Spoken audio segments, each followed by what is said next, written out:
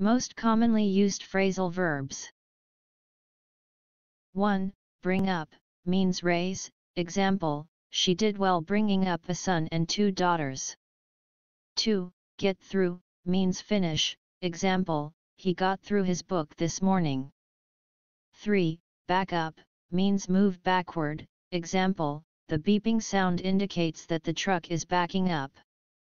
4. Run after, means chase, example, the dog will get hurt if he continues to run after cars. 5. Come in, means arrive, example, that flight just came in. 6. Fall down, means fail, example, that is where reasoning falls down. 7. Throw up, means vomit, example, the baby threw up all over my shirt.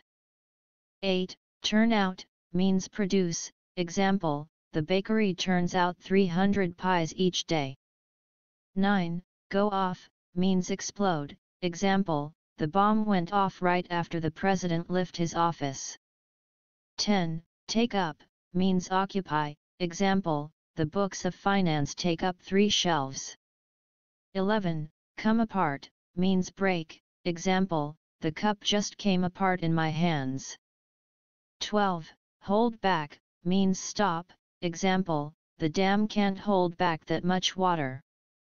13. Put out, means produce, example, the factory puts out 5,000 units each day. 14. Call for, means request, example, the government has called for an end to hostilities in the region.